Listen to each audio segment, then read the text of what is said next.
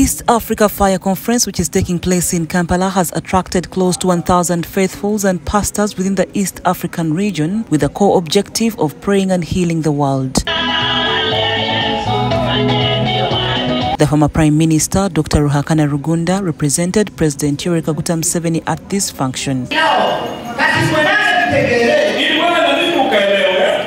when you go down, In his message, he tasked the church leaders to always rally the faithful to embrace the government developmental programs such as the parish development model, Emyooga, Operation Wealth Creation, among others. It is important to emphasize to believers that in addition seeking spiritual nourishment from the places of worship, they should also participate in income generating activities to sustain their households. Rugunda gave an example of Jesus Christ as a preacher of the gospel and a carpenter urging believers to be hardworking. Government will continue to ensure maintenance of peace and security and construction of the necessary infrastructure The head of the State House Investors Protectorate Unit, Kano Edith Nakalema, also hailed the good relations between the church and government in Uganda, and she said this has helped transform the country.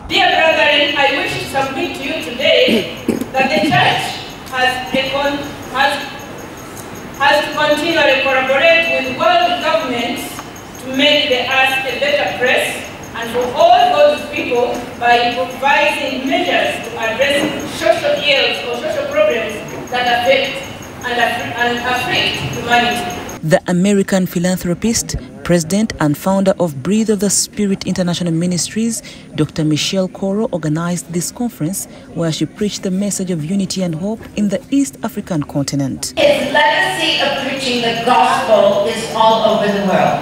kati ebyafaayo omukulu omukulu ogw'okuwulira enjiri buli mu nsi yonna kikulyako nakyengalo The message of development and take use of government uh, development programs is very key. That instead of just preaching, people can have time to go and work, people can have time to go and invest, which is so crucial in national development. The meeting attracted pastors from Ethiopia, Kenya, Tanzania, Uganda, Rwanda, Burundi, South Sudan, and Democratic Republic of Congo. Report compiled by Jaliat Namoya for the news.